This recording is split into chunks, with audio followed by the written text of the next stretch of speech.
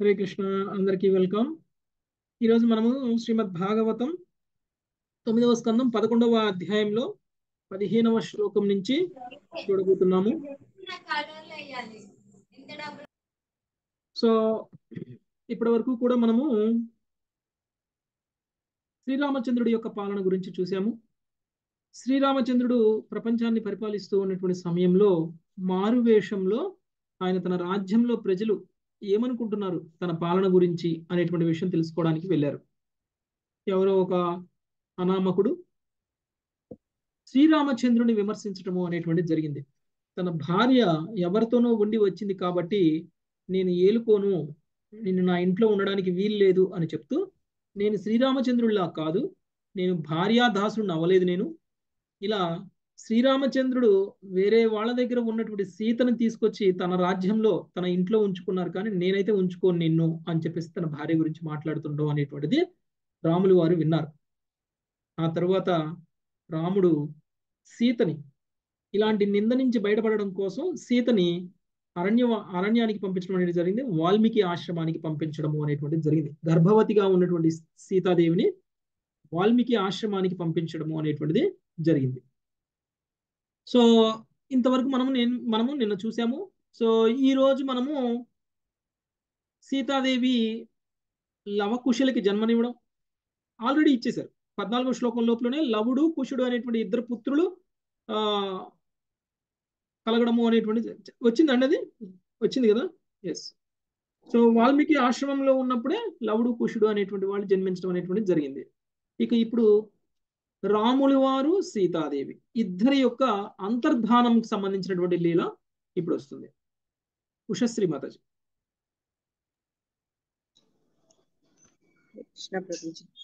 మునౌ నిక్షిప్య తనయో సీతా భర్త్రా వివాసిత. మునౌ నిక్షిప్య తనయౌ సీతా భర్త్రా వివాసిత. ధ్యాయంతి రామచరణౌ వివరం ప్రవివేశ. ధ్యాయంతి రామచరణౌ వివరం ప్రవివేశ. రూపాల వారి భావం. భర్తచే పరిత్యక్తురాలైన సీతాదేవి తన పుత్రులను వాల్మీకి ముని రక్షణలో నిలిపి శ్రీరామ పాద పంకజములను ధ్యానించుచు భూమిలోనికి ప్రవేశించెను. రూపాల వారి భాష్యము. రామ వియోగముతో జీవించుట సీతాదేవికి అసంభవమయ్యను. అందువలన ఆమె వాల్మీకి మునికి తన ఇరువురు పుత్రుల రక్షణ భారమును అప్పగించి భూమిలోనికి ప్రవేశించెను. ధన్యవాదాలు ప్రభుజీ. హరి కృష్ణ. సో సీతాదేవికి ఇద్దరు పుత్రులు కలిగిన తరువాత అంటే లవుడు కుషుడు ఇద్దరిని కూడా వాల్మీకి అప్పచెప్పి ఆయన యొక్క వాళ్ళ ఆ ఇద్దరు పిల్లల యొక్క రక్షణ భారాన్ని వాల్మీకి ఇచ్చేసి ఇక సీతాదేవి భూమిలోకి వెళ్ళిపోవడము అనేటువంటిది జరిగిపోయింది. సో ఎందుకు అలా చేశారు అని అంటే రాముడి మీద ఉన్నటువంటి విరహంతో రాముడు లేకుండా ఇంకా ఆమె ఉండలేకపోయింది కాబట్టి. నెక్స్ట్ పదహారవ శ్లోకం. లక్ష్మీ ఆత్మకూరుమత. హరే కృష్ణ అశ్రుత్వా భగవాన్ రామో రుంధన్నపి ధియా శుచః. తృంత భగవాన్ రామో దియాసుచః స్మరంస్తస్యా గుణాంస్తాంస్తాం నాశక్నోద్రోద్ధుమీశ్వరः స్మరంత స్వరం తస్య గుణాం స్తాంస్తాన్ నాస క్రోధో ధ్రు ధ్రు ధుమీశ్వర సీతాదేవి భూమి అందు ప్రవేశించిన వార్తను వినిన శ్రీరాముడు మిగుల దుఃఖి దుఃఖించెను. తాను దేవదేవుడైనను. ఆమె మహద్గుణములను స్మరించినంతట అతడు దివ్య ప్రేమ భావముతో దుఃఖమును ఆపుకొనలేకపోయిను. ప్రభుపాదుల వారి భాష్యం. సీతాదేవి భూమిలో ప్రవేశించిన వార్తను విని శ్రీరాముడు దుఃఖించుటాను భౌతికమైనదిగా భావించరాదు. ఆధ్యాత్మిక జగత్తునందు కూడా విరహ భావనలు ఉన్నవి కానీ అవి ఆధ్యాత్మిక ఆనందముగా భావింపబడును. విరహ దుఃఖమును పరమ పురుషుని యందు కలదు. కానీ ఆధ్యాత్మిక జగత్తు నందలి అట్టి విరహ భావన దివ్యానందమై ఉన్నది అట్టి భావన తస్య ప్రేమవస్య సహ స్వభావ ఆహ్లాదని జన్ శక్తి ప్రభావము నందుండుట ప్రేమచే నియంత్రింపబడుట అనుదానికి చిహ్నము. భౌతిక జగత్తునందు అట్టి విరహ భావన కేవలం వికృత ప్రతిబింబమై ఉన్నది. హరే కృష్ణ ప్రభుజీ ధన్యవాదాలు. సీతాదేవి భూమి ఎందు ప్రవేశించారు అనేటువంటి విషయం తెలుసుకున్నటువంటి రాముడు దుఃఖాన్ని ఆపుకోలేకపోయారు. విరహ భావన ఇంకా పెరిగిపోయింది అనమాట సో ఎందుకంటే సీతాదేవి గురించి తలుచుకుంటున్న కొద్దికి విరహం అనేటువంటిది ఇంకా పెరుగుతూ ఉంటుంది. ఎందుకంటే సీతాదేవిని అంత ఎక్కువగా ప్రేమించారు కాబట్టి. ఒక వ్యక్తిని ఎంతగా ప్రేమించారు అనేటువంటి విషయం ఆ వ్యక్తి లేనప్పుడు ఎంత విరహానికి గురి అయ్యారు అనేటువంటి దాన్ని బట్టి మనము తెలుసుకోవచ్చు. సో రాముడు ఎంత విరహాన్ని అనుభవిస్తున్నారో అంత ఎక్కువగా ఆ వ్యక్తిని ప్రేమించినట్లు ఆ వ్యక్తి లేనటువంటి సమయంలో. అయితే ఈ విరహము భౌతికమైనటువంటి విరహము రెండు ఒకటి కాదు. భౌతిక భావనలో ఉన్నటువంటి విరహము ప్రకృతి అంటే నార్మల్గా మనందరికీ ఉండేటువంటి విరహం ఏదైతే ఉంటుందో ఇది భౌతిక భావనలో ఉండేటువంటి విరహం. ఈ విరహానికి ఆ విరహానికి తేడా ఏమిటి అని అంటే ఇది ఈ విరహానికి అది వికృతి. ప్రకృతి కాదు వికృతి. అంటే అక్కడ ఉన్నటువంటి విరహం విప్రలంబ భావన అని అంటారు. విప్రలంబ భావన అనేటువంటిది సాధనీ శక్తి కారణంగా లభిస్తుంది. అంటే ఆధ్యాత్మికమైనటువంటి భగవంతుడి యొక్క ఆంతరంగిక శక్తి వలన కలిగేటువంటి భావన. ఆ భావన కూడా ఒక రకమైనటువంటి ఆనందమే. సో అలాంటి ఒక ఆనందాన్ని అంటే ఒక బాగా ప్రేమించినటువంటి వ్యక్తి దగ్గరగా లేనప్పుడు కలిగేటువంటి ఆ వ్యక్తిని తలుసుకుంటూ కలుగుతున్నటువంటి అనుభూతి ఏదైతే ఉంటుందో అది కూడా ఒక రకమైనటువంటి ఆనందానికే కారణమవుతుంది. సో అలాంటి ఆనందాన్ని అనుభవిస్తున్నారు శ్రీరామచంద్రుడు. కాబట్టి ఈ ఆనందం ముందు మన మామూలుగా భౌతిక విరహం ఏదైతే ఉంటుందో దాంతో పోల్చడానికి లేదు అనేటువంటి విషయం మనకి ఇక్కడ గుర్తు చేస్తున్నారు ప్రభుత్వాలు నెక్స్ట్ పదిహేడవ శ్లోకం. రామారావు ప్రభుజీ. స్త్రీ పుం ప్రసంగ ఏతాధృ సర్వత్ర త్రాసమావహ రామారావు ప్రభుజీ మళ్ళీ శ్రీమాత చదవండి హరే కృష్ణ ప్రభుజీ శ్రీ పుం ప్రసగ్గ ఏతాదృక్ సర్వత్ర త్రాసమానవః అపీశ్వరాణం కిముత గ్రామ్యస్య గృహచేతసః ఈశ్వరాణం కిముత గ్రామ్యస్య గృహచేతసః స్త్రీ పురుషుల నడుమ ఆకర్షణ సర్వత్రా సర్వదా నెలకొని ఉండి ఎల్లరికూ భయమును గొల్పుచుండును. అట్టి భావన బ్రహ్మ రుద్రాది లోకపాలురు ఎందు ఉండి వారికి భయకారణమై ఉన్నది. అయినచో ఈ భౌతిక జగత్తునందు గృహాసక్తులైన వారిని గూర్చి వేరుగా తెలుపుదేమున్నది?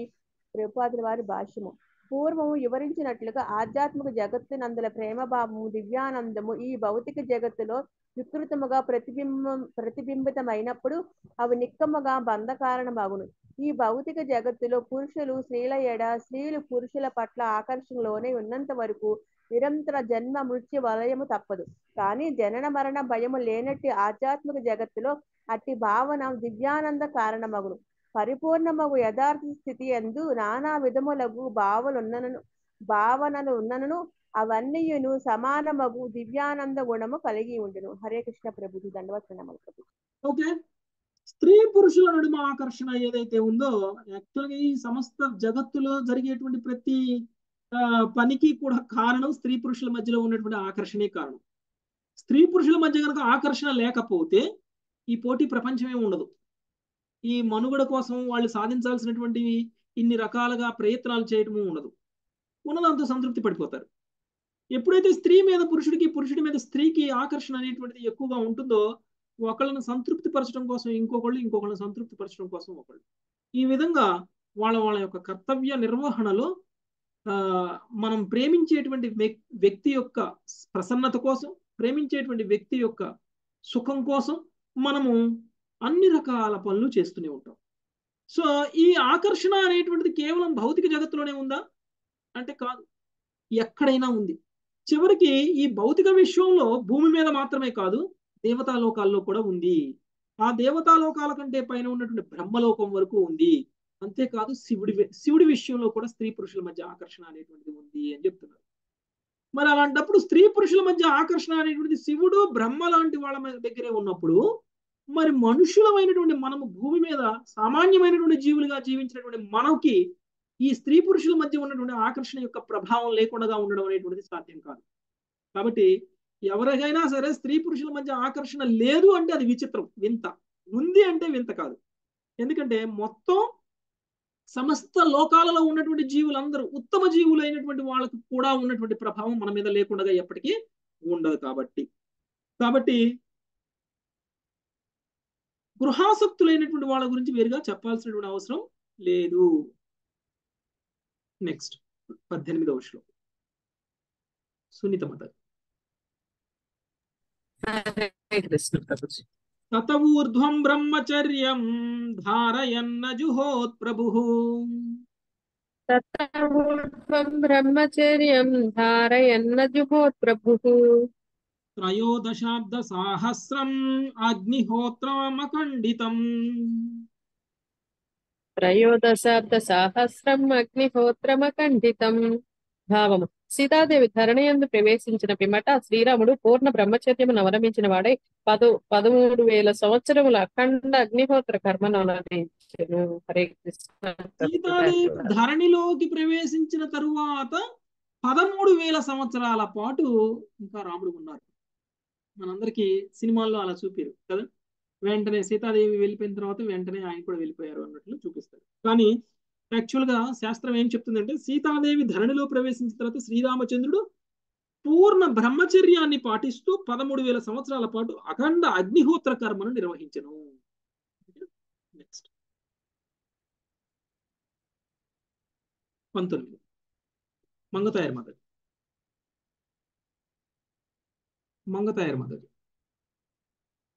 రామారావు ప్రభుజీ ఆ, హరే కృష్ణ శ్లోకం నెంబర్ పంతొమ్మిది పంతొమ్మిది ఓకే స్మరతాం హృది వి స్మరతాం హృది విన్యస్య విద్ధం దండకంఠకంటకై స్మరతాం హృది నిన్న నిన్యస్య విద్ధం దండ కంకటై కంటకై స్మరతాం హృది విన్నస్య విద్ధం దండకంటకై స్మరతాం హృది విన్యస్య విద్ధం దండ కంటకై దండకంటకై స్వపాధవల్లభం రామ ఆత్మజ్యోతిరగాత్తతః స్వపాద పల్లవం రామ ఆత్మజ్యోతిరగాత్త హరే కృష్ణ యజ్ఞంను పూర్తి కావించిన పిమ్మట శ్రీరామచంద్రుడు దండకారణ్యమున వసించినప్పుడు కంటకములచే పీడింపబడిన తన పాద పద్మములను తన్ను సదా స్మరించినట్టు వారి హృదయములలో నిలిపిన వాడి బ్రహ్మజ్యోతికి ఆవలనున్న స్వధామమునకు అనగా వైకుంఠమునికి వెళ్ళాడు భాష్యం. భగవత్ చరణారవిందములే భక్తులకు సదా ధ్యాన విషయమై ఉంది. శ్రీరాముడు దండకారణ్యమును తిరిగినప్పుడు ఒక్కొక్కప్పుడు అతని పాద పద్మములలో కంటకములు గుచ్చుకొని గుచ్చుకొనిడివి ఇది తలుచుకొని భక్తులు మూర్ఛలేడివారు. ఈ భౌతిక జగత్తులోని కార్యకారణములచే కలిగిడి సుఖదుఖములు భగవంతుని ప్రభావితుని చేయజాలవు. కానీ భగవంతుని కాలులో ముళ్ళుగుచ్చుకొనుడుకునైనను భక్తులు సహింపజాలరు. రాళ్ళు రప్పలు ఇసుక రేణువులు ఉన్నట్టి అరణ్యము నాకు శ్రీకృష్ణును వెడలినప్పుడు అతని పాద పద్మలకు అది గుచ్చుకునేమో అని గోపికలు తలచడి వారు భక్తుల ఈ హృదయ వేదము వేదనము కర్మిష్ఠులకు జ్ఞానులకు యోగులకు అర్థం కాదు. భగవంతుని పాద పద్మములకు ముళ్ళు గుచ్చుకున్నటే అనే తలంపునైనను వహిం సహింపజాలని భక్తులు ఆ దేవదేవుని అంతర్ అంతరార్థమును గూర్చి తలంచి తిరిగి దుఃఖమును మునిగెదరు. భౌతిక జగత్తులో లీలా పరిసమాప్తి పిదప భగవంతుడు స్వభా స్వధామమునకు తిరిగి వెళ్ళవలసే వచ్చును. ఇతడ ఆత్మజ్యోతి అను పదము ప్రధానమైనది. జ్ఞానులకు పరమ ప్రియమైనట్టి బ్రహ్మజ్యోతి అనగా ముక్తి కొరకు వారు దీని ఎందు ప్రవేశింపకూడదు శ్రీకృష్ణ భగవాను దేహకాంతియే గాని అన అన్యము కాదు. యస్య ప్రభా ప్రభవతో జగదండ కోటి కోటిశ్వశేష వసుధా దివిభూతి భిన్నం తద్బ్రహ్మ నిష్కల్మ నస్తంతు శేషభూతం గోవిందం ఆదిపురుషం తమహం భజామి. మహాశక్తి సంపన్నుడు ఆదిదేవుడు అయిన గోవిందుని నేను భజింతును. అతని దివ్య రూపం యొక్క దేదీప్యమానమునకు తేజమే నిరాకార బ్రహ్మము. పరిపూర్ణమైనది. అనంతమైనది అగు అది మ్యూట్ అయ్యారు.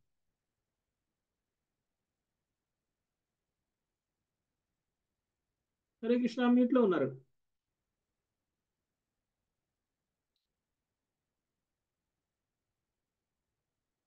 సూర్యుని వెలుపల ఉన్నట్లుగా బ్రహ్మజ్యోతి వైకుంఠ లోకములకు బయట ఉండును. సూర్యుని యందు ప్రవేశించుటకు సూర్యకాంతి ద్వారా ప్రయాణించవలసి ఉండును. అట్లే భగవంతుడు లేదా భగవంతుని విశ్వశుద్ధ భక్తుడు వైకుంఠమున ప్రవేశించినప్పుడు బ్రహ్మజ్యోతి గుండా ప్రయాణించును. భగవంతుని కూర్చిన నిరాకార భావము వలన జ్ఞానులు వైకుంఠ లోకమును ప్రవేశింపదాలరు అట్టని వారు బ్రహ్మజ్యోతి అందును శాశ్వతంగా నిలిచి ఉండదాలరు ఆ విధంగా కొంతకాలమునకు వారు ఈ భౌతిక జగత్తునికే తిరిగి వస్తురు అరుహ్య క్రచ్చేణ పరం పదహం తత పతంత ధ్యానో నృతయశ ధంగ్రయ. భాగవతము పది పాయింట్ రెండు పాయింట్ ముప్పై రెండు. వైకుంఠ లోకములు బ్రహ్మజ్యోతిచే ఆచ్ఛాదితమై ఉండును. అందువలన విశుద్ధ భక్తుడు కానిదే ఏ ఎవ్వడును ఆ వైకుంఠ లోకములనగా ఏమో చక్కగా ఎరుగుదారడు హరే కృష్ణ ప్రభుజీ. ఓకే సో అగ్నిహోత్రాది కార్యక్రమాలను పూర్తి చేసిన తరువాత పదమూడు వేల సంవత్సరాల పాటు ఎన్ని సంవత్సరాలు? పదమూడు వేలే కదా? పదమూడు వేల సంవత్సరాల పాటు అగ్నిహోత్రాది కార్యక్రమాలు అంటే యజ్ఞాలు అవన్నీ కూడా పూర్తి చేసిన తరువాత ఇక శ్రీరామచంద్రుడు దండకారణ్యంలో ఉన్నప్పుడు ఆయన ఇక అంతర్ధానం అయిపోవడం అనేటువంటిది జరిగింది. అంతర్ధానం అయిపోయినప్పుడు ఆయన ఎక్కడికి వెళ్ళారు? బ్రహ్మజ్యోతికి అవతల ఉన్నటువంటి వైకుంఠంలోకి వెళ్ళిపోయారు. అంటే తన ధామానికి వెళ్ళిపోయారు. అంటే భగవంతుడు బ్రహ్మజ్యోతికి అవతల ఉంటారు. బ్రహ్మజ్యోతి మూలము అని నమ్మేటువంటి వాళ్ళందరికీ కూడా తెలుసుకోవాల్సినటువంటి విషయం ఏమిటి అని అంటే బ్రహ్మజ్యోతికి అవతల కూడా ఇంకా ఉన్నది మూలం. ఆ మూలము భగవంతుడి యొక్క లోకము భగవంతుడు. ఆ భగవంతుడు బ్రహ్మజ్యోతి ఆ నుంచి రాలేదు. బ్రహ్మజ్యోతి భగవంతుడి నుంచి వస్తుంది. అది మనకి ఇక్కడ తెలియజేస్తున్నారు. అందుకనే బ్రహ్మజ్యోతి గురించి వచ్చినప్పుడు మాయావాదులు ఏం చెప్తారు అని అంటే భగవంతుడు రూపము కూడా భగ బ్రహ్మజ్యోతి నుంచి వస్తుంది. కాబట్టి ఎప్పుడైతే భగవంతుడు తన లీలలను చాలించి అంతర్ధానం అయిపోతారో అప్పుడు బ్రహ్మజ్యోతిలో కలిసిపోతారు లీనమైపోతారు. సో తిరిగి భగవంతుడికి ఇక రూపం ఉండదు అని అంటారు. కానీ మనకి భాగవత ధర్మం అలా చెప్పట్లేదు. భాగవతం ఏం చెప్తుంది అని అంటే ఈవెన్ బ్రహ్మజ్యోతి కూడా భగవంతుడి యొక్క రూపం నుంచే వస్తుంది. అంటే బ్రహ్మజ్యోతికి కూడా మూలం ఉంది కానీ భగవంతుడి యొక్క రూపానికి మూలం లేదు. భగవంతుడి యొక్క రూపము ఆది అనాది. ఓకే? సో అలాంటి భగవంతుడికి ఒక ధామం కూడా ఉంది. ఎవరికి ఉంటుందండి ధామం? రూపం ఉన్న వాళ్ళకి ధామం ఉంటుంది. రూపం లేని వాళ్ళకి ఏం దానం ఉంటుంది? ధామం ఉంటుంది. మనకి ఒక ఊరు ఉంది. మనం ఆ ఊరిలో ఇల్లు ఉంది. ఆ ఇంట్లో మనం ఉంటాం.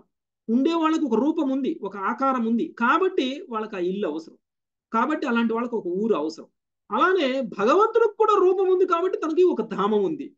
ఎక్కడ ఉంటారు అనేటువంటిది సర్వం వ్యాపించి ఉంటారు అని చెప్తుంటారు. సర్వం వ్యాపించి ఉన్నటువంటి భగవానుడికి రూపం లేదు అని చెప్తూ ఉంటారు కానీ భగవంతుడికి రూపం ఉంది. భగవంతుడు సర్వవ్యాపకంగా ఉంటూనే భగవంతుడు తన ధామంలో కూడా ఉన్నారు. తన ధామంలో తన ఇంట్లో తను మనం అందరం ఎలా అయితే మన ధామం మన మన ఊరిలో మనం అలా ఉంటున్నామో భగవంతుడికి కూడా తనకు తన ధామం అనేటువంటిది ఉంది. ఆ ధామమే వైకుంఠ ధామం. ఓకే? అది భగవంతుడికి సంబంధించినటువంటి జ్ఞానం. అయితే భగవంతుడు తమ భక్తుల హృదయాలను తన పాదాలను నిలిపారట. యాక్చువల్గా ఆ పాదాలకు కూడా కంటకాలు గుర్చుకొని ఉన్నాయి అనేటువంటి విషయం చెప్తున్నాను అంటే భగవంతుడికి ఏమైనా అయిపోతుందేమో? భగవంతుడికి ముళ్ళు గుచ్చుకుంటే నొప్పి లేస్తుందేమో అని బాధిస్తాడు భక్తుడు.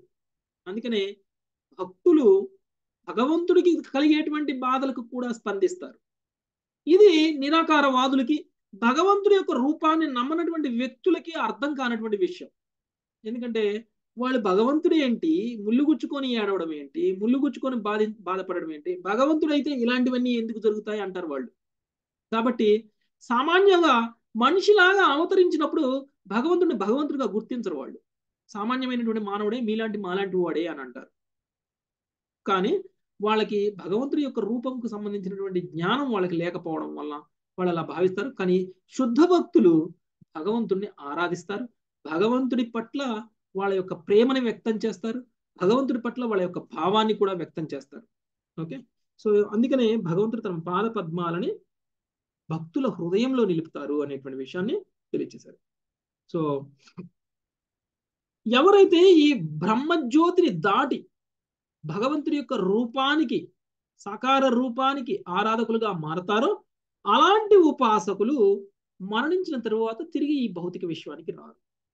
అంటే మనం అందరం అనుకోవచ్చు ముక్తి సాధించడం అంటే ఇది. అని ముక్తి అంటే భగవంతుడు ధామానికి వెళ్ళిపోవడం తిరిగి భౌతిక విశ్వానికి రాకుండా ఉండడం. అలానే మరి బ్రహ్మజ్యోతిలో లీనమైపోయినటువంటి వ్యక్తులకు కూడా ముక్తి వస్తుంది కదా అని అన అనొచ్చు.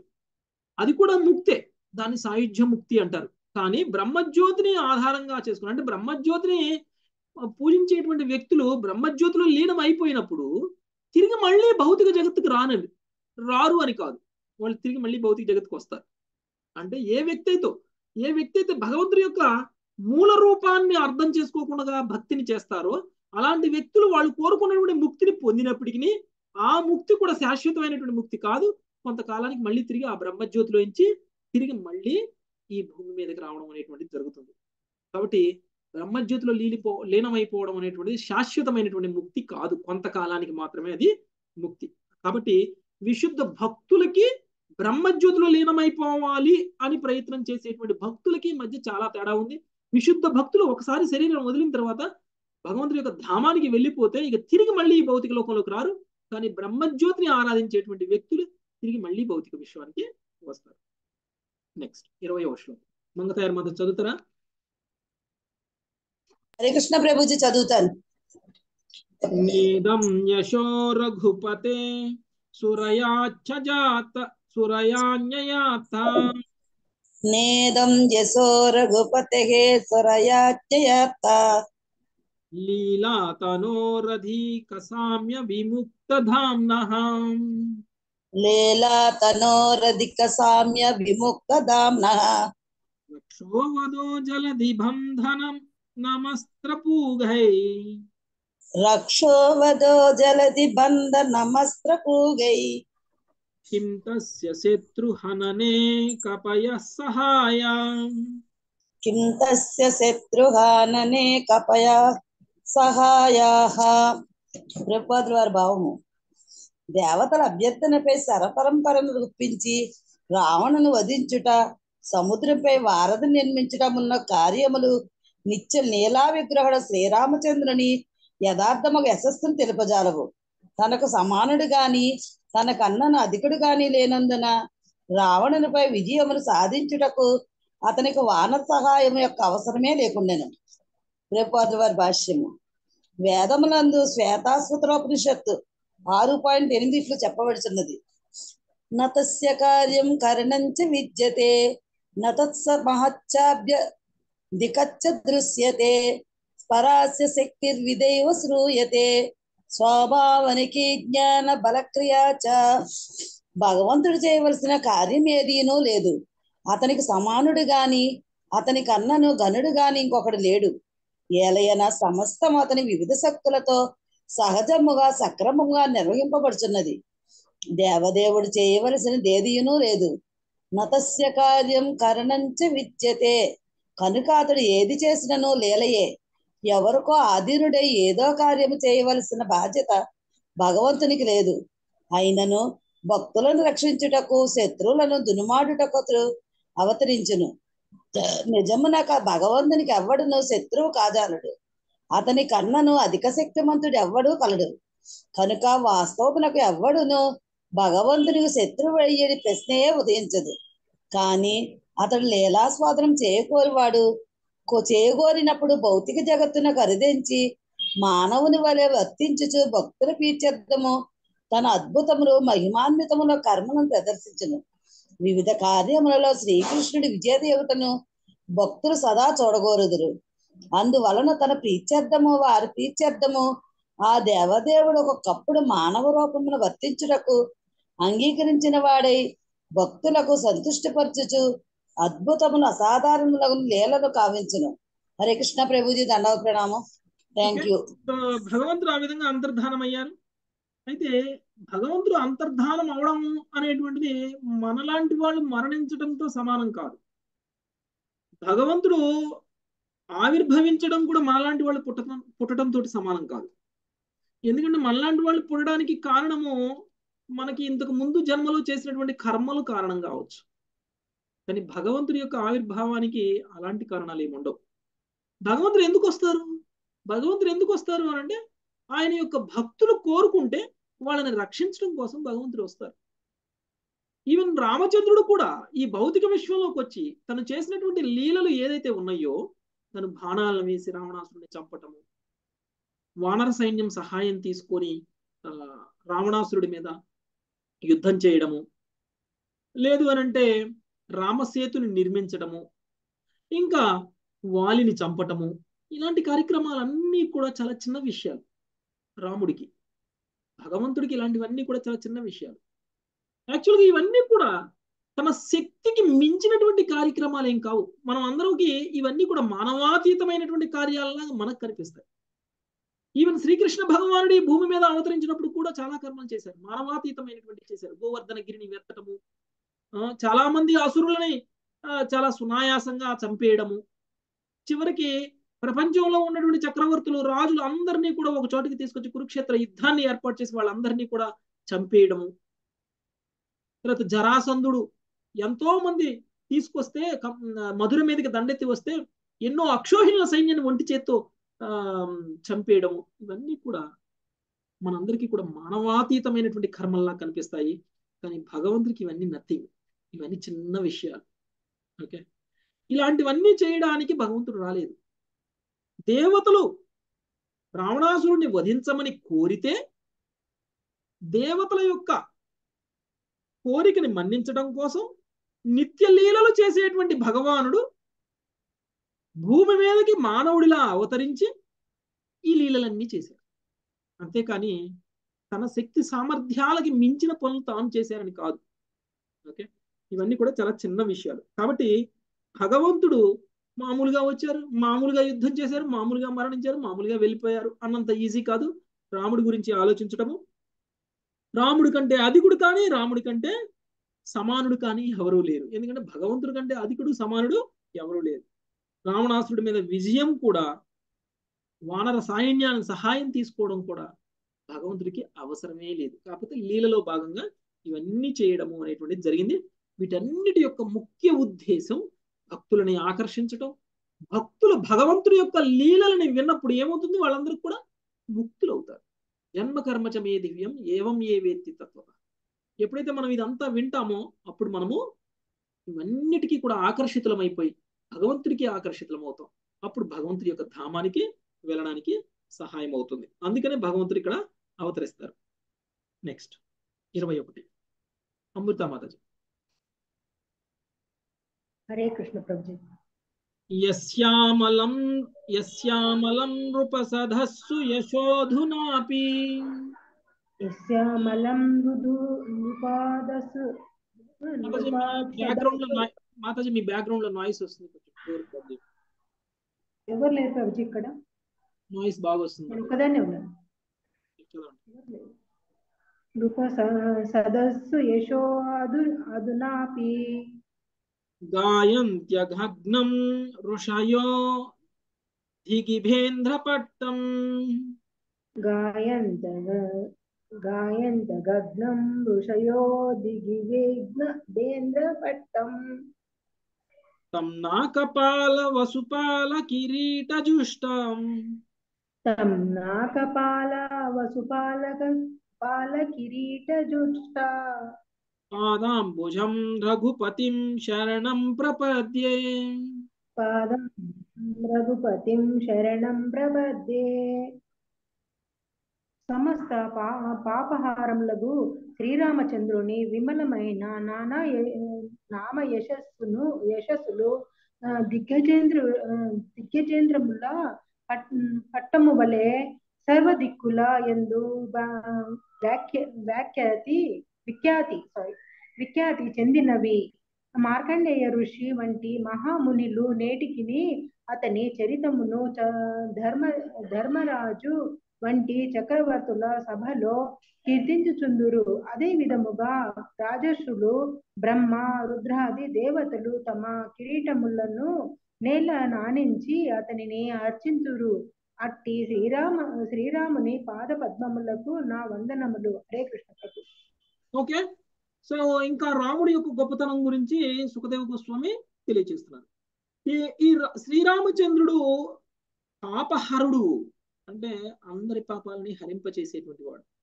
యాక్చువల్గా దేవీ దేవత సైతం మన పాపాలని ఎవరు పోగొట్టలేరు. మన పాపాలన్నీ పోవాలి అని అంటే భగవంతుడికి ఆకర్షితులం అవ్వాలి. భగవంతుడి యొక్క పాదపద్మాలను ఆశ్రయించాలి. అప్పుడు మాత్రమే మనము అన్ని పాపాల నుంచి విముక్తులం అవడం అనేటువంటి జరుగుతుంది. శ్రీరామచంద్రుడి గురించి కూడా సుఖదేవ్ గోస్వామి అదే విషయాన్ని తెలియజేస్తున్నారు పాపాలని హరించగలిగినటువంటి శ్రీరామచంద్రుడు నామ యశస్సులు సర్వ దిక్కులా కూడా విఖ్యాతి చెంది ఉన్నాయి. అంటే తన గురించి తెలియని వాళ్ళు లేరు. తెలియని డైరెక్షన్లో ఎవరు లేరు. అంటే ఏ దిక్కున వెళ్ళినా కానీ రామచంద్రుడి యొక్క యశస్సు గురించి అందరికీ తెలుసు. అందుకనే మార్కండేయ ఋషి లాంటి మహానీయులు కూడా ధర్మరాజు లాంటి వ్యక్తులు ఉన్నటువంటి సభలో శ్రీరామచంద్రుని కీర్తించటము అనేటువంటి జరుగుతుంది. అందుకనే శ్రీరామచంద్రుడు అందరికీ కూడా ఒక ఉదాహరణ. అందుకనే చివరికి నారదుడు కానీ మార్కండే ఋషి కానీ గొప్ప గొప్ప సప్తర్షుల్లో వాళ్ళు కానీ అందరూ కూడా రాముణ్ణి కీర్తిస్తూ ఉంటారు. కాబట్టి ఇక రాజర్షులు బ్రహ్మ రుద్రుడు ఇతర దేవతలు కిరీటములను నేల కానించి అతన్ని అర్చిస్తారు శ్రీరామచంద్రుణ్ణి చివరికి బ్రహ్మ రుద్రాదులు కూడా అర్చిస్తారు. పైగా ఎలా అర్చిస్తారట? సాష్టాంగం పడి.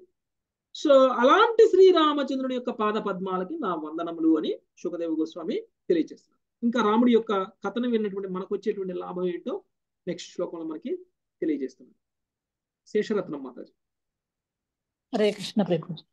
ప్రభు సయై స్పష్టోభిదృష్టో వా సంవిష్టోనుగతోపి వా అయాయు సృష్టో అభిదృష్టో వా సంవిష్టో అనుగతోపి వా కోసలాస్తేయు స్థానం యత్ర గచ్చంతి యోగినః కోసలాస్తేయమహో యయుః స్థానం ఎత్ర గచ్చంతి యోగినః ప్రభుపాదుల వారి భావం శ్రీరామచంద్రుడు కేవలము భక్తి యోగులే.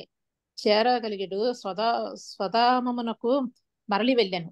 వందనము చేత పాద పాద పద్మ స్పర్శ చేత తండ్రి వంటి రాజుగా భావించుట చేత సమాన భావముతో కలిసి కూర్చుండుట పరుండుట లేదా అనుసరించుట చేత ప్రకటలీల ఎందు శ్రీరాముని సేవించిన వారే అయోధ్యావాసులందరూ ఆ స్థానమును చేరిరి.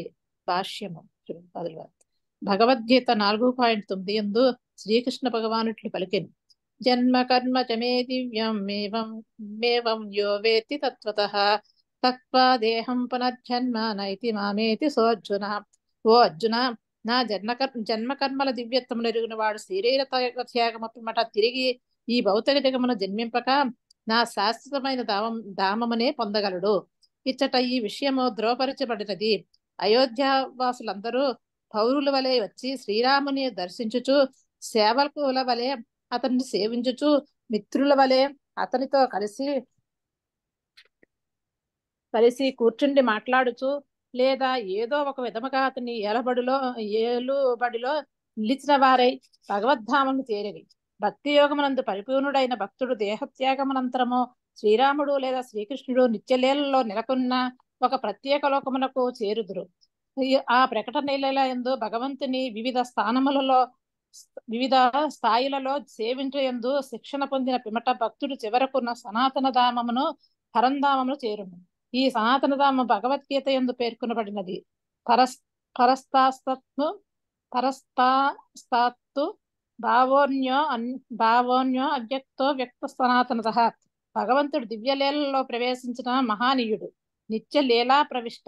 అని పిలువబడును. శ్రీరామచంద్రుడు ఎందులకై తిరిగి వెళ్ళనని స్పష్టముగా తెలుసుకున్నట్టుకే భక్తి యోగులు చెరు చెరడి ప్రత్యేక ప్రత్యేక స్థానమునకే అతడు వెళ్ళ వెళ్ళినని పేర్కొనబడినది. నిరాకారవాదులు శ్రీమద్ భాగవత వచనములను అపార్థము చేసుకుని శ్రీరాముడు స్వదేజం స్వదేజమును స్వతేజమును ప్రవేశించి నిరాకారుడయ్యనని భావింతురు. కానీ భగవంతుడు రూపసహితుడు. అతని భక్తులు రూపసహితులు. నిజమునకు జీవులందరూ భగవంతుని వల్లనే భూతకాలము ఉన్నారు. ప్రస్తుతము ఉన్నారు. దేహత్యాగనంతరము కూడా ఉండమన్ ఉండనున్నారు. ఇది కూడా భగవద్గీత ఎందు ద్రోవపరచబడినది హరే కృష్ణ ప్రభు జీవితంలో ప్రమాణం శ్రీరామచంద్రుడు ఎక్కడికి వెళ్ళారు? ఎక్కడికి వెళ్ళారంటే తన ధామానికి వెళ్ళారు. తన ధామానికి ఎవరు వెళ్ళగలరు? శుద్ధ భక్తులు మాత్రమే వెళ్ళగలరు. శుద్ధ భక్తి అంటే ఏమిటి? శుద్ధ భక్తి అంటే మన ఆరాధన దేవీ దేవతల ఆరాధన. లేదంటే మన ఆరాధన ఆ, పరమాత్మ స్థాయిలోనో లేదంటే మన ఆరాధన నిరాకార బ్రహ్మ స్థాయిలోనో ఉంటే అది శుద్ధ భక్తి అవ్వదు. ఇవన్నీ కూడా కలుషితమైనటువంటి భక్తులు. అయితే శుద్ధ భక్తులు మాత్రమే భగవంతుడి యొక్క ధామానికి వెళ్ళగలరు. అలాంటి ధామానికి శ్రీరామచంద్రుడు తిరిగి వెళ్ళిపోయాడు. అయితే రామచంద్రుడు అవతరించినప్పుడు రామచంద్రుడితో పాటుగా ఉన్నటువంటి వాళ్ళందరూ కూడా రామచంద్రుడి యొక్క లీలల్లో భాగం పంచుకున్నటువంటి వాళ్ళు. మరి వీళ్ళందరూ ఎందుకు వచ్చారు మనలాగా కర్మఫలాలను అనుభవించడం కోసం అయోధ్యలో పుట్టలేదు. అయోధ్యలో రాముడు అవతరించడానికంటే ముందు నుంచే రాముడి యొక్క లీలలో భాగం పంచుకోవడం కోసం ఒక ప్రత్యేకమైనటువంటి ఒక మిషన్ తోటి వాళ్ళందరూ వచ్చారు. రాముడు లీలలో భాగం పంచుకోవడం అంటే ఎవరు పడితే వాళ్ళు లీలలో భాగం పంచుకోరు. స్వయంగా భగవంతుడు పంపించినటువంటి వ్యక్తులు మాత్రమే రాముడి లీలలో భాగం పంచుకుంటారు. అందుకని రాముడితో పాటు కూర్చొని రాముడితో పాటు తిని రాముడితో పాటు తిరిగి రాముడి యొక్క సహచరుడుగా ఉన్నటువంటి వ్యక్తులు అందరూ కూడా ఎవరైతే ఉన్నారో అయోధ్యలో వీళ్ళందరూ కూడా భగవంతుడి యొక్క ధామం నుంచి ప్రత్యేకంగా రాముడు వస్తున్నారు అని వచ్చినటువంటి వాళ్ళు. మరి ఎప్పుడైతే రాముడు తన లీలలని ఈ భౌతిక విషయంలో పరిసమాప్తి చేసి తిరిగి తన ధామానికి వెళ్ళిపోయినప్పుడు వీళ్ళందరిని వదిలేసి వెళ్తారా? వీళ్ళందరిని వదిలేసి వెళ్ళరు. మళ్ళీ తిరిగి తన ధామానికి వీళ్ళందరినీ తీసుకుని వెళ్తారు. అలానే మళ్ళీ ఇంకొక విశ్వంలో ఇంకొక చోట ఎక్కడో రాముడి యొక్క లీలలు జరుగుతూ ఉంటే అక్కడికి వెళ్తారు. అంటే భగవంతుడి యొక్క లీలలు నిత్య లీలలు. ఏదో ఒక విశ్వంలో ఎప్పుడు తన యొక్క లీలలని జరుగుతూనే ఉంటాయి. ఇప్పుడు కలియుగం ఎక్కడుంది వేరే విశ్వంలో అక్కడ త్రేతాయుగం ఉండవచ్చు. ఇంకొక విశ్వంలో అక్కడ ద్వాపర యుగం ఉండవచ్చు. ఇంకొక విషయంలో కలియుగం సత్యయుగం ఉండవచ్చు. ఇంకొక విషయంలో వేరే ఏదో అవతారం లీలలు జరుగుతూ ఉండవచ్చు. సో భగవంతుడి యొక్క లీలలు నిత్య లీలలు ఎప్పుడూ జరుగుతూ ఉంటాయి. ఎప్పుడూ జరుగుతూనే ఉన్నటువంటి ఆ లీలల్లో భాగం పంచుకోవడము అనేటువంటిది కేవలం భగవంతుడి యొక్క పార్షదులకు మాత్రమే సాధ్యమవుతుంది తప్ప ఎంతో పాపం చేసినటువంటి వ్యక్తులు భగవంతుడి యొక్క లీలలో భాగం పంచుకోవడానికి అర్హులు కూడా కాదు. అలాంటి వాళ్ళందరూ కూడా పాప కర్మలను అనుభవించడం కోసం తిరిగి తిరిగి పుడుతూ ఉంటారు తప్ప భగవంతుడిది భగవంతుడికి ఆ సేవించడం కోసం వచ్చినటువంటి వాళ్ళు వీళ్ళంతా. ఓకే? వీళ్ళందరూ కూడా భగవంతుడు పొందినటువంటి ధామానికే వెళ్ళిపోయారు. అందుకనే భగవంతుడి యొక్క జన్మ కర్మల గురించి తెలుసుకున్నటువంటి మనలాంటి వాళ్ళే భగవంతుడి యొక్క ధామానికి వెళ్ళిపోతుంటే మరి భగవంతుడి యొక్క లీలలో భాగం పంచుకున్నటువంటి వ్యక్తులు భగవంతుడి యొక్క ధామానికి వెళ్ళకుండా ఎలా ఉంటారు? అందుకనే తనతో పాటు నివసించినటువంటి వాళ్ళందరూ కూడా ముక్తిని పొంది భగవద్ధామానికి వెళ్ళారు అనేటువంటి విషయం ఇక్కడ చెప్తున్నారు. నెక్స్ట్ ఇరవై మూడు. రమేష్ ప్రభుజీ.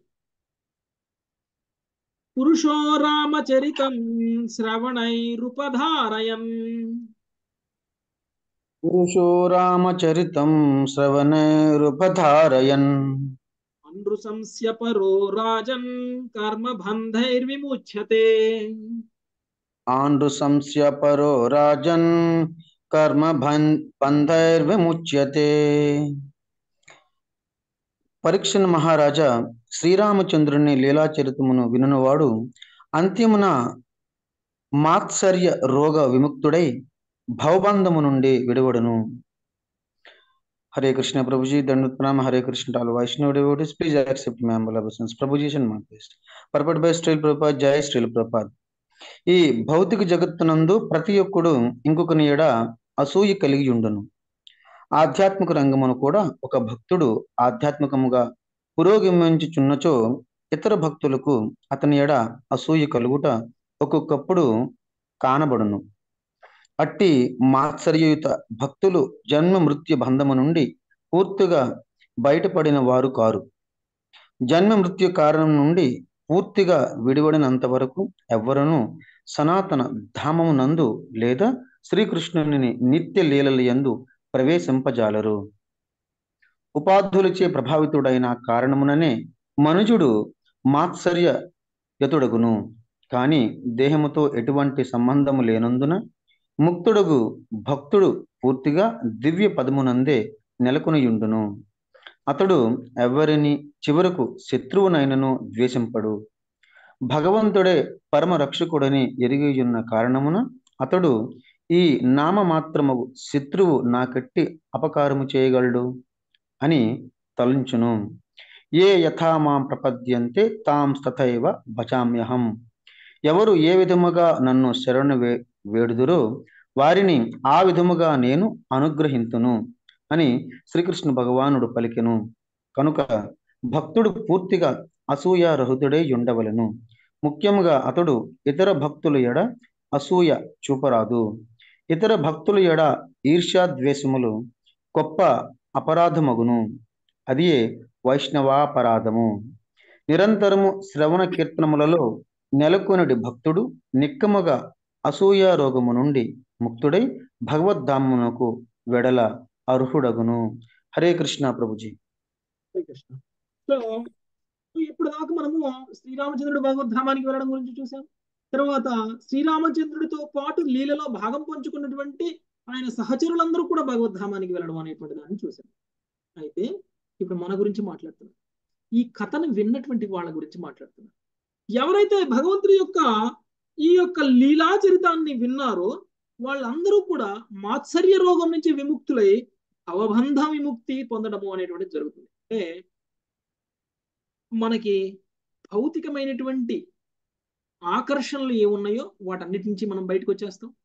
తర్వాత మనలో ఉన్నటువంటి అసూయ గుణం నుంచి కూడా మనం బయటపడిపోతాం. యాక్చువల్గా భౌతిక విషయంలో ప్రతి ఒక్కరికి అసూయ అనేటువంటిది ఉంది. చివరికి అసూయ అనేటువంటిది మన యొక్క మన మన మన కాంపిటీషన్లో ఉన్నటువంటి వాళ్ళ మీద మాత్రమే కాదు. చివరికి మన బంధుమిత్రుల మీద కూడా మనకు అసూయ ఉంది. మన చివరికి మన సోదరుడి మీద కూడా మనకు అసూయ ఉంది. ఇలాంటి ఒక భౌతిక విషయంలో ఉన్నటువంటి ఇది ఒక భౌతికమైనటువంటి గుణం. ఈ గుణం నుంచి బయటపడకుండా మనం అందరం కూడా ఆధ్యాత్మికంగా పురోగమించడం సాధ్యం కాదు ముక్తిని సాధించడం అంతకంటే సాధ్యం కాదు.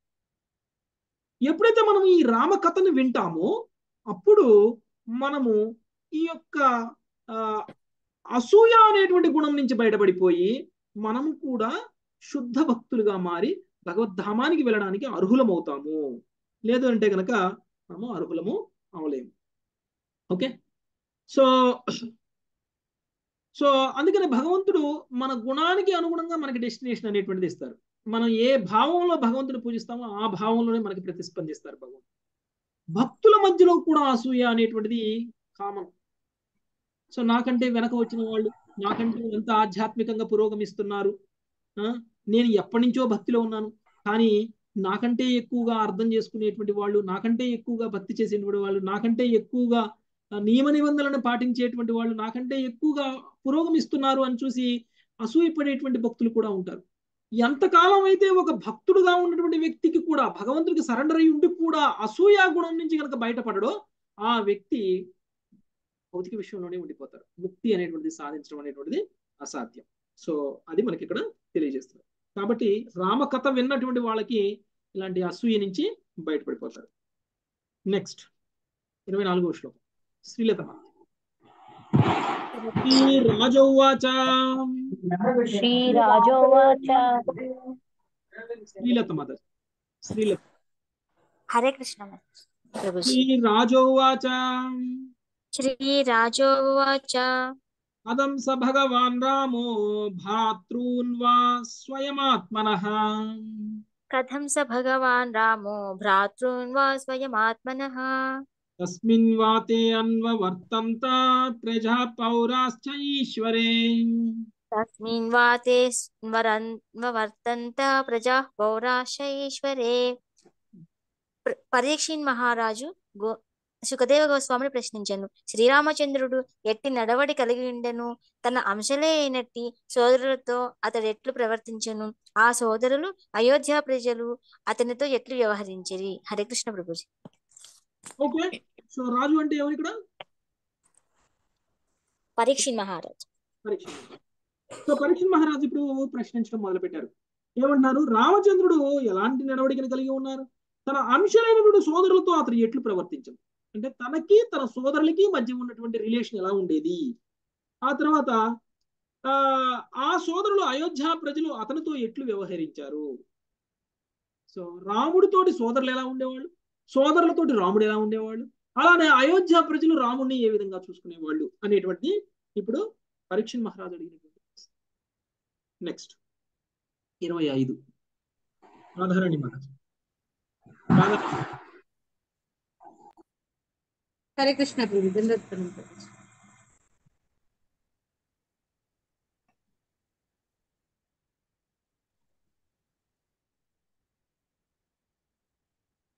श्री श्रीबाधरायणि उवाच अतादिशद्दिग्विजयो भ्रातृंस्ति दिग्विजय अथादिशद्दिग्विजये भ्रातृंस्त्रिभुवनेश्वरः ఆత్మానం దర్శయన్ స్వానాం భూమిమైక్షత సానుగః. ఆత్మానం దర్శయాన్ స్వానాం భూమిమైక్షత సానుగః. సుఖదేవ గోస్వామి ఇట్లు సమాధానమిచ్చాడు. సోదరుడకు భరతుని మన మనపూర్వకమైన అభ్యర్థనపై రాజసింహాసనం స్వీకరించిన పిదప శ్రీరాముడు సోదరులందరినీ ప్రపంచ దిగ్విజయ యాత్రలకు పంపి తాను పురమునందే నిలిచిన వాడే ప్రజలకు అంతఃపుర వాసులకు దర్శనం నొసగుతూ అనుయాయులతో కలిసి రాజ్యపాలన కొనసాగించారు ప్రభుపాదుల వారి వాక్యం. భగవంతుడు తన భక్తులను లేదా అనుయాయులను ఇంద్రియ భోగంలో నెలకొనుటకు అనుమతింపడు. శ్రీరామచంద్రుని సోదరులు దేవదేవుడకు తన అన్నగారి సన్నిధిని అనుభవించుటూ గృహం ఉండిరి.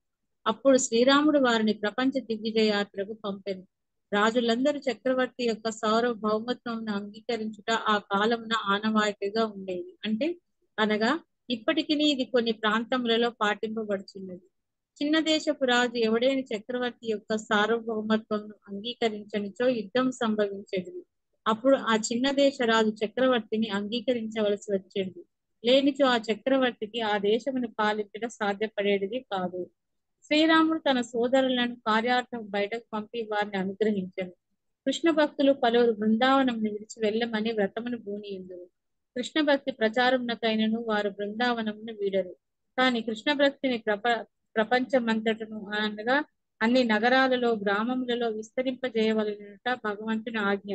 ఈ విషయమున శ్రీ చైతన్య మహాప్రభు ఇట్లు ఆదేశించున్నది పృథ్వీతే ఆచే ನಗರಾದಿ నగరాది గ్రామ సర్వత్ర ప్రచార ಯೋರ యోర మోరనామ కనుక విశుద్ధ భక్తుడు తప్పక భగవద్ఆజ్ఞను నెరవేర్చవలెను ఒకే చోట ఉండిపోయి తృప్తి చెందుట అతనికి తగదు బృందావనమున నిలిచి ఏకాంతముగా హరినామమును జపించడి కారణమున తాను మహాభక్తుడ మహాభక్తుడనైతనని కలిసి విద్యా గర్వితుడవుట ఎంత మాత్రం కూడదు భక్తుడు భగవదాజ్ఞను నెరవేర్చుట ఎందే లగ్నమై ఉండవలెను యారే ధేక తారే కహా కృష్ణ ఉపదేశ అని శ్రీ చైతన్య చైతన్యులు పలికిరి కనుక ప్రతిభక్తుడు కలిసిన వారితో నిన్న కలిసిన వారితో నిన్న కృష్ణోపదేశమును స్వీకరింపుడని పలుకుచు ప్రచారం కావించి హరినామ సంకీర్తనోద్యమమును విస్తరింపజేయవలను.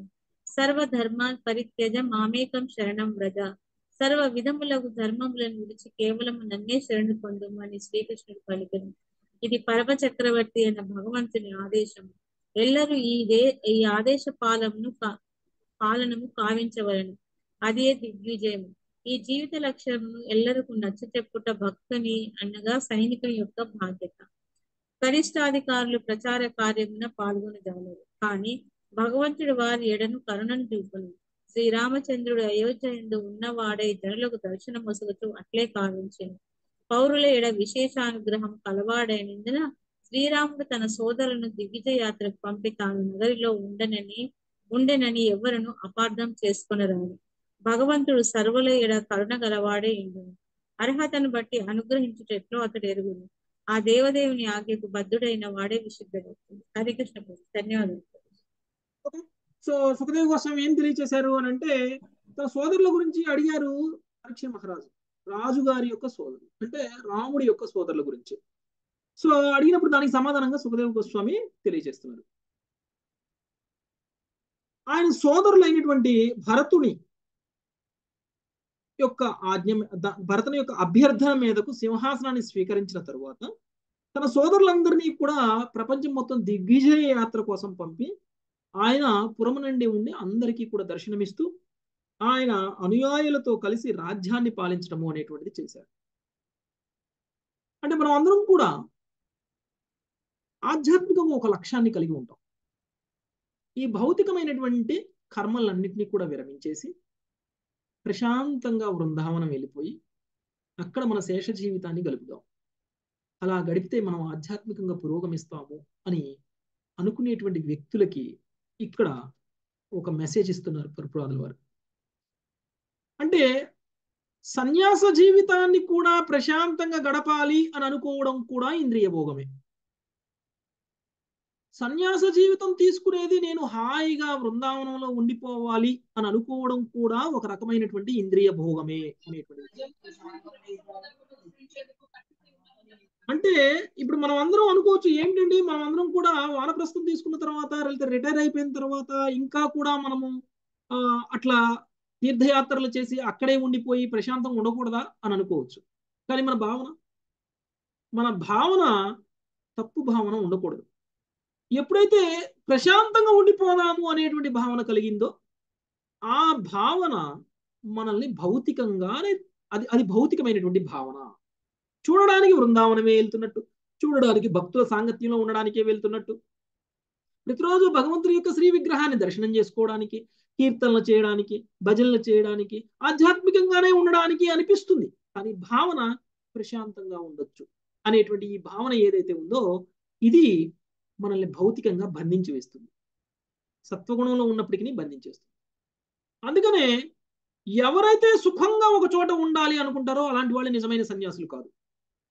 అందుకని ప్రభుపాదల వారు హ్యాపీగా డెబ్బై సంవత్సరాల వయసు వచ్చిన తర్వాత వృందావనలో గౌఢ్య మఠం వాళ్ళు తనకు ఒక రూము ఇచ్చి ప్రశాంతంగా నువ్వు ఇక్కడ ఉండు భక్తి చేసుకో అని చెబితే బృందావనంలో హ్యాపీగా ఉండిపోవచ్చు. యాక్చువల్గా ప్రభుపాదల వారికి విగ్రహారాధన అంటే చాలా ఇష్టం. ప్రభుపాదుల వారికి ఈ గుడి గంటలు సౌండ్ అంటే చాలా ఇష్టం. ఏ రోడ్డులో వెళ్ళినా కానీ వందల మంది వందల గుళ్ళు ఉన్నాయి ఈ గుళ్ళన్నిటి నుంచి కూడా ఎప్పుడు ఎక్కడ ఏ దారిలో బృందావనంలో వెళ్ళినా కానీ కీర్తన వినిపిస్తూ ఉంటుంది. అందరూ రాధే రాధే అని పిలుస్తారు. సో ఇంత హాయిగా ఉన్నటువంటి ప్రభుపాదుల వారు ఎందుకు బృందావనాన్ని వదిలేశారు?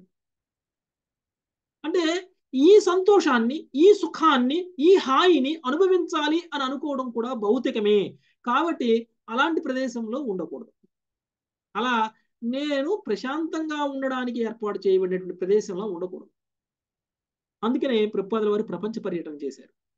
ప్రపంచం మొత్తం పర్యటన చేసి కృష్ణ భక్తిని ప్రచారం చేశారు. ఇది నిస్వార్థమైనటువంటి కృష్ణ సేవ సన్యాసం తీసుకున్నటువంటి వ్యక్తి చేయాల్సినటువంటి వ్యక్తి పని ఇది సో ఇలా చేయకుండా నేను సెటిల్ అయిపోయాను. నేను హాయిగా ఉన్నాను. నాకు టెంపుల్ ఏదో ఒక రెండు ముద్దలు అన్నం పెడుతుంది.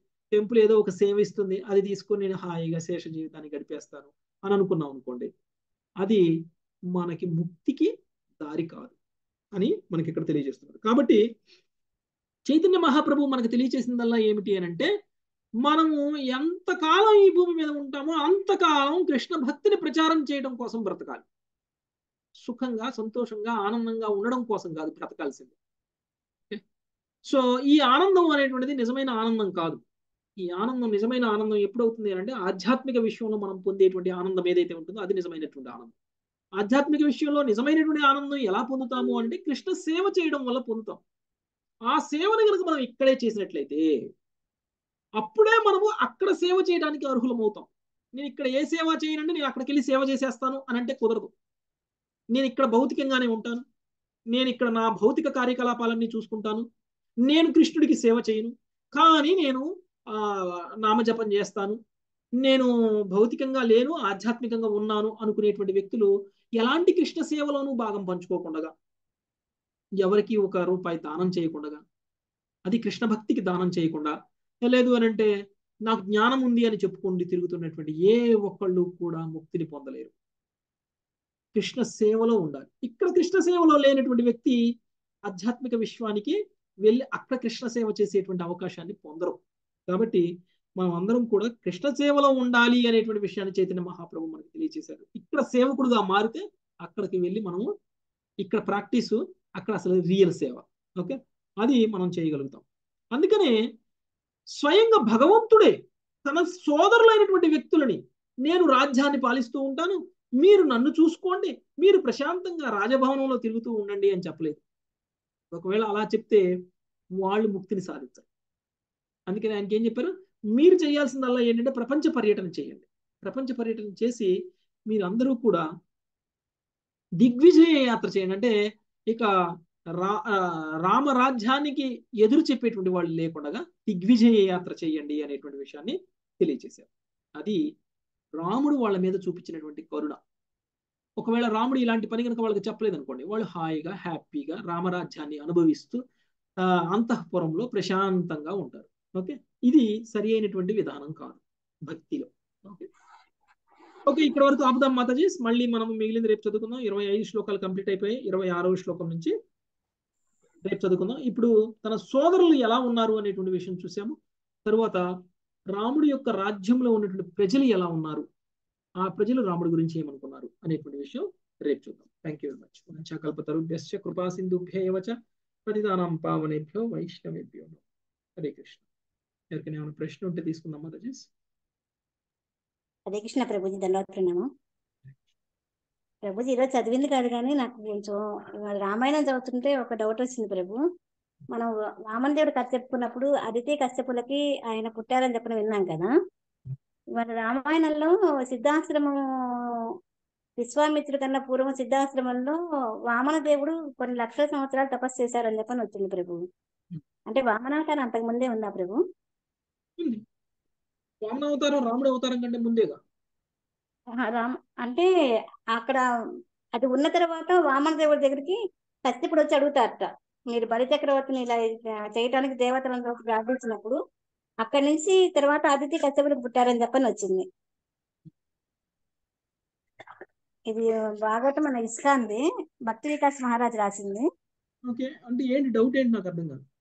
అంటే అదితి కశ్యపులకు పుట్టక ముందునే వామన అవతారం అనేది వామన దేవుడు ఉన్నాడని చెప్పని అనేది ఉన్నది అందులో. ఓకే అదితి కశ్యపులకే ఆయన కలిగారు. అంతకు ముందు కూడా ఆయన దర్శనం ఇచ్చుంటారు వామన అవతారంలోనే. సిద్ధాశ్రమంలో అక్కడ ఆయన కొన్ని లక్షల సంవత్సరాలు తపస్సు చేస్తారు అక్కడ. ఉన్నారు. వామన అవతారం అనేటువంటిది ఎప్పుడు ఎటర్నల్ అవతారం. అంటే ఆ శాశ్వతమైనటువంటి అవతారాలు అవన్నీ కూడా. రాముడు వామనుడు. ఇప్పుడు రాముడు ఏంటి? ఇప్పుడు త్రేతాయుగంలో అంతరించిపోయారు అంతర్ధానం అయిపోయారంటే ఇక రాముడు లేరని కాదు. లేదంటే త్రేతాయుగంలో రాకముందు రాముడు లేరని కాదు. ఓకే? రాముడికి తన వైకుంఠ లోకముందు అక్కడ ఉన్నారు. ఓకే? తను ఇలాంటి భక్తులకి అంటే ఇప్పుడు వీళ్ళకి కనిపిస్తారు. ఓకే? సో వామనుడిగా కూడా అలానే ఉండుంటారు. యాక్చువల్ చదవలేదు. ఆ బుక్ చదవలేదు మాత్రం. అదే రామాయణం అది బుక్ తీసుకొని చదువుతున్నాం ప్రభు. అది ఈ రోజు వచ్చింది అనమాట ఓకే. కొంచెం డౌట్ వచ్చింది అందుకని అది అడుగుదామని. Okay thank you very much Mataji so మనము ప్లాన్ చేస్తున్నాము పదిహేడో తారీఖు రామనవమి కాబట్టి ఒక మూడు రోజుల ముందు రామకథ చెప్పుకోవడానికి ప్లాన్ చేస్తున్నాము. సో మీకు షెడ్యూల్ వస్తుంది. సో ఎవరు చెప్తారు రామకథ ఏ టైంలో చెప్తారు అనేటువంటిది వస్తుంది. సో బహుశా మార్నింగ్ క్లాస్లోనే మార్నింగ్ భగవద్గీత క్లాస్లోనే మనము భగవద్గీత బదులు రామాయణం చెప్పుకుంటాం ఒక three days. Okay thank you very much